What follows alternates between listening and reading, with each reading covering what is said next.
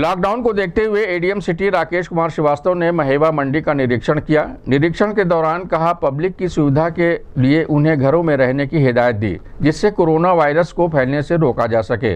उन्होंने बताया कि 1000 ठेलों से डोर टू डोर सब्ज़ी उपलब्ध करवाया जा रहा है। मंडी में पर्याप्त सब्ज़ी उपलब्ध है, जिसकी वजह से सब्ज़ी सस्ती है और उपलब्ध भी है। इस संबंध में गोरखपुर न्यूज़ से बात करते हुए एडीएम सिटी राकेश कुमार श्रीवास्तव ने कहा।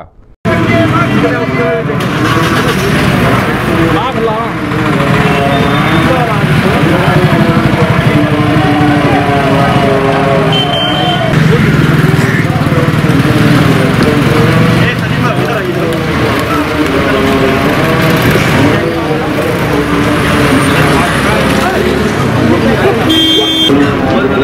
Thank you.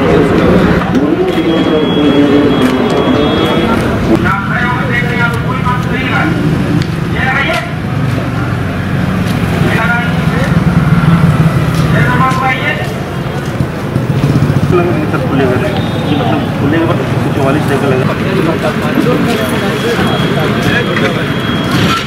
चेहरे पे मास्क लगाइए।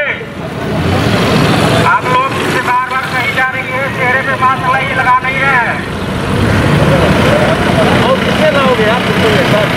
चलो किनारे करो गाड़ी। गाड़ी किनारे करिए। इस संबंध में पब्लिक की सुविधा के लिए और उन्हें घरों में रखने के लिए ताकि ये कोरोना वायरस न फैलने पाए। इसके लिए सब्ज़ी का रेट हर दिन तय किया जाता है। सिटी मजिस्ट्रेट साहब और मंडी सचिव यहाँ ये निर्धारित कर देते हैं।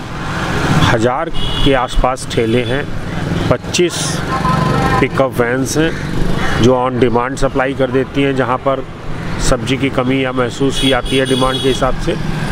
सब्ज़ी की पर्याप्त उपलब्धता है, जिसकी वजह से सब्ज़ी सस्ती भी है और उपलब्ध भी है।